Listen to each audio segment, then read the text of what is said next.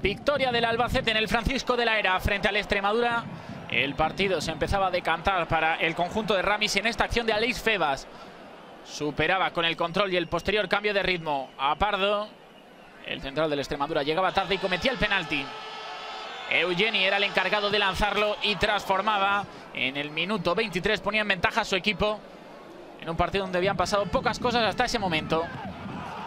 Fausto Tienza remataba de cabeza ese buen centro de Alex 10 y ponía el 1-1 en el marcador, libre de marca, fallo en la defensa del Albacete, que no podía parar ese buen remate de Fausto Tienza.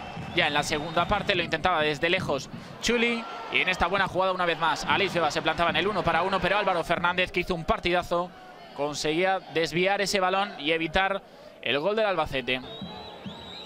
En una buena combinación el Albacete conseguía ponerse por delante. El pase tremendo de Susaeta y Ortuño conseguía marcar su primer tanto de la temporada y a falta de 15 minutos para el final poner en ventaja al Albacete. Buenísima la jugada del conjunto visitante en un toque que todavía iba a tener la última del partido. Pero Álvaro Fernández una vez más sacaba una mano prodigiosa y desviaba el balón a córner. Al final del partido, tres puntos importantísimos para el Albacete.